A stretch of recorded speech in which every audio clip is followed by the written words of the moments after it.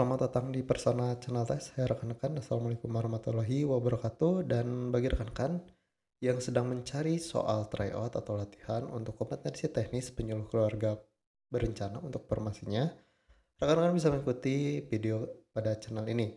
Karena di sini saya akan memberikan juga materi terkait tes yang akan rekan-rekan jalani nanti pada saat CATBKN dan juga soalnya berdasarkan Permen Pan RB nomor 21 tahun 2018 JO titik nomor 10 tahun 2021.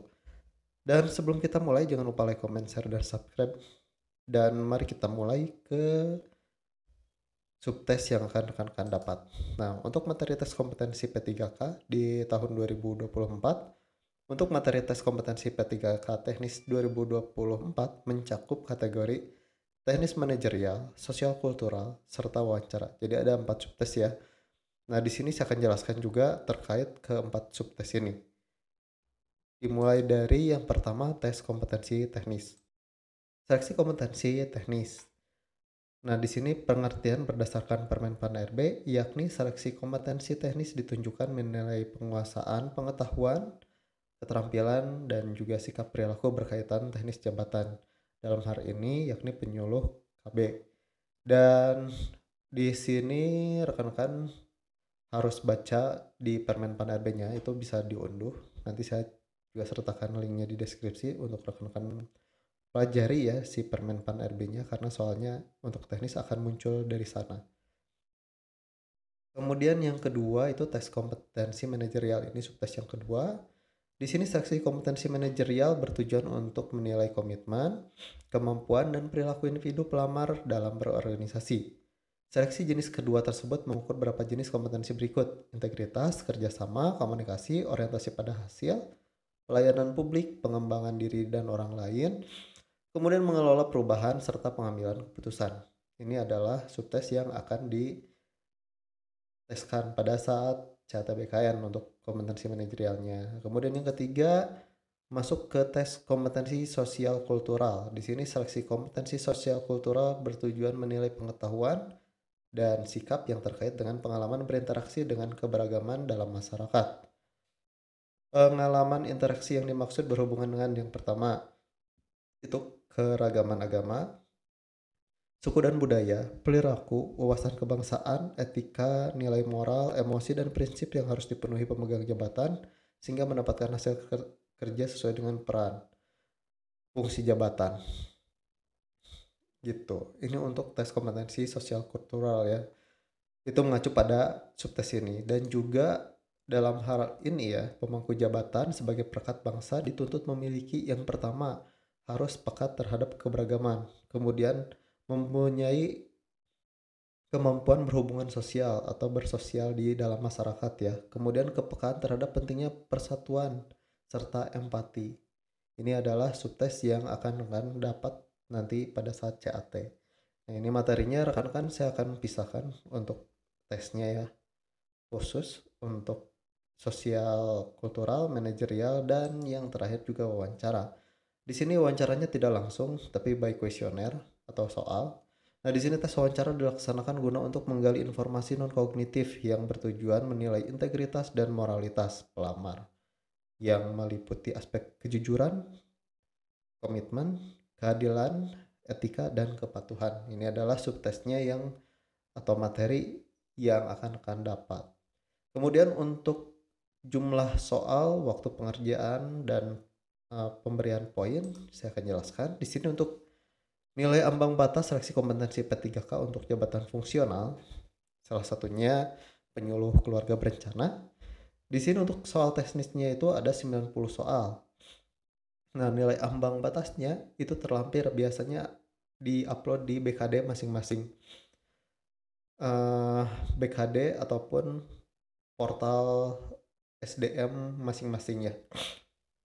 Nah, kemudian nilai kumulatif maksimal dari so uh, soal teknis ini yakni 450 dengan pembobotannya jika rekan-rekan mengerjakan satu dan jawabannya betul itu diberi poin 5. Kemudian jika rekan-rekan salah itu jawabannya 0. Jadi untuk teknis itu tidak ada sistem pengurangan poin.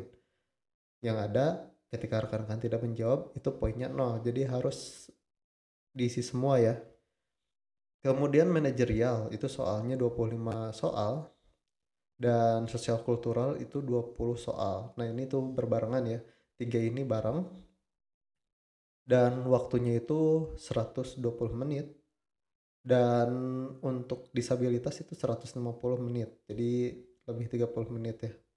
Kemudian untuk nilai ambang batas ke kedua tes ini yakni manajerial sosial kultural itu 130 kalau misalnya rekan-rekan di sininya satu misalnya 129 itu rekan-rekan tidak akan lulus.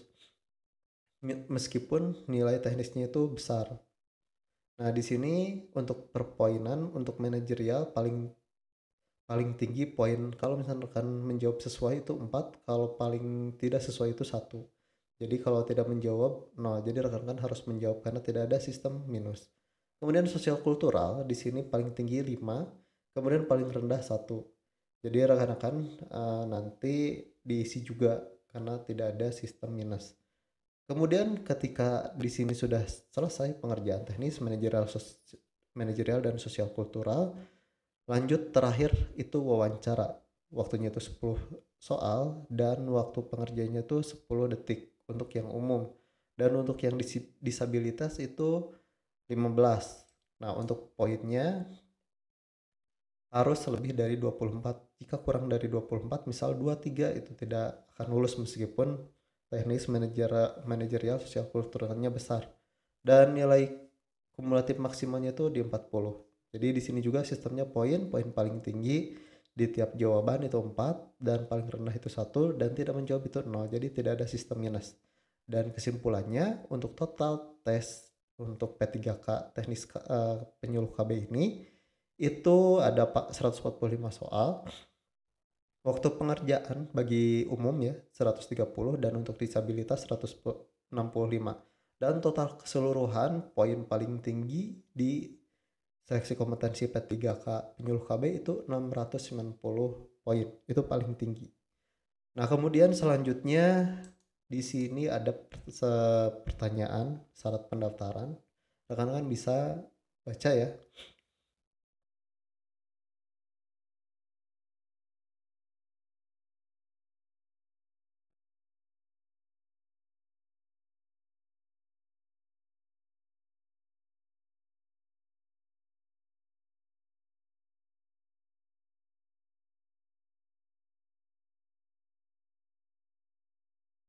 Nah, ini yang harus rekan-rekan perhatikan pada saat pendaftaran di portalnya uh, eh, BKN ya, SSC ASN.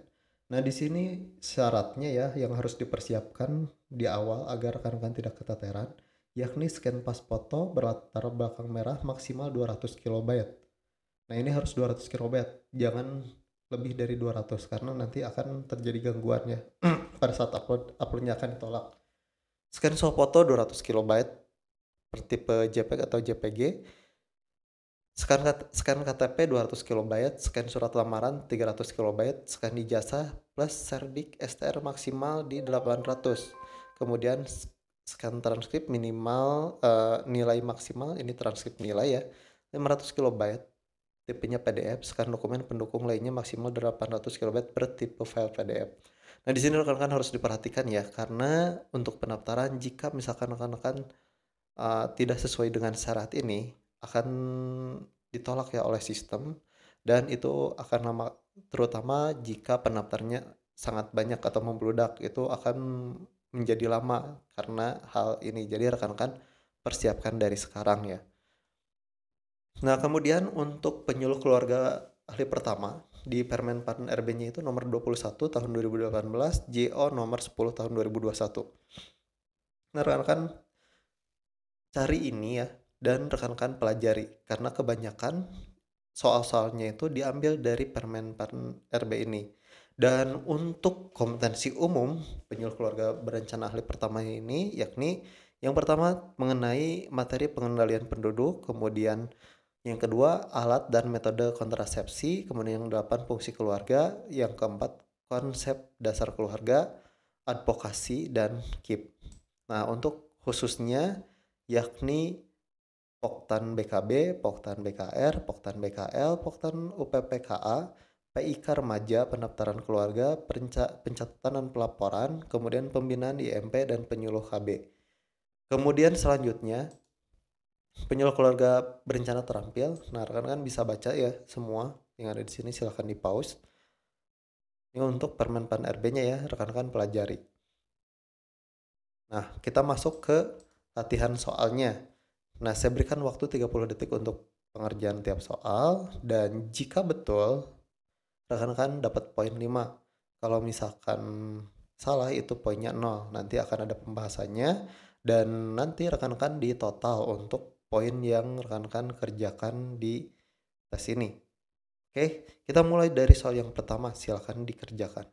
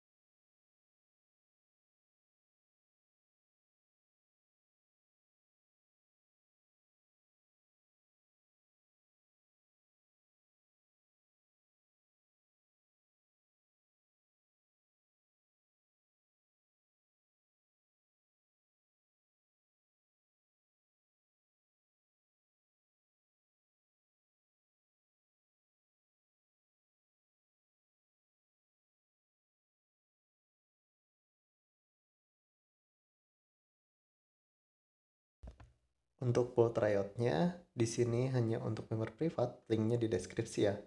Oke, kita lanjut ke full tryout-nya ya. Sekian dari saya. Wassalamualaikum warahmatullahi wabarakatuh.